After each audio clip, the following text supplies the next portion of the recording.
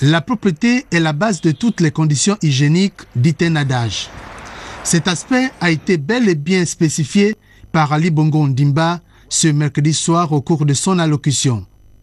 Au moment où les autorités municipales et les responsables de la SOVOG s'activent à trouver une solution idoine au sempiternel problème de gestion des ordures ménagères, le chef de l'État a insisté sur la préservation de notre cadre de vie, l'embellissement et la propreté de nos villes et quartiers.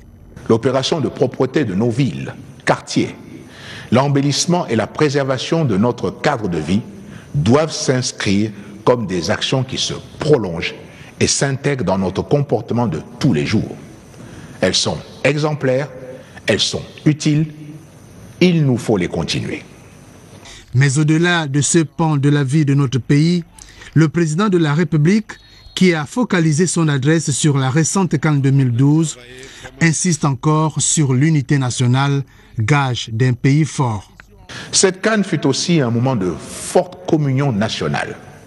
Elle a transcendé certains vieux clivages pour nous montrer qu'en dépit des critiques, du scepticisme des politiques en mal d'inspiration, qu'ensemble, unis comme les doigts de la main, nous sommes plus forts et que plus forts, nous pouvons nous dépasser, franchir des montagnes et aller plus loin, aller plus haut.